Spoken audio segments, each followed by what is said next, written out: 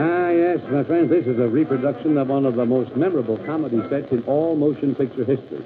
The small country stores, you can see, the pot-belly stove here, and the checkerboard, and the grocery counter, and behind that, a barrel of molasses. Now, many of you will seen that Buster Keaton never made before a motion picture camera. It was a Paramount comedy titled Butcher Boy, made way back in 1917. Right, Mr. Keaton will be assisted by Eddie Gribbon, one of the original keystone comedians of silent movies. And now let's turn back the clock 40 years, 1917, as we present Buster Keaton in The Can of Molasses.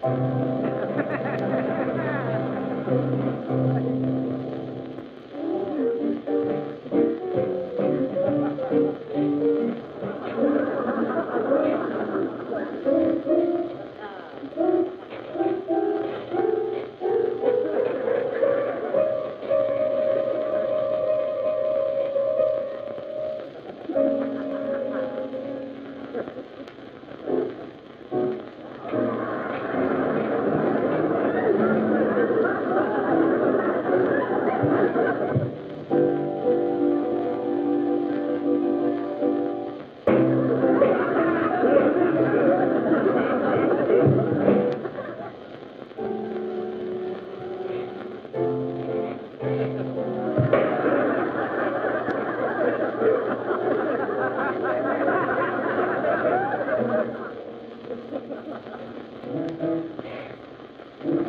you.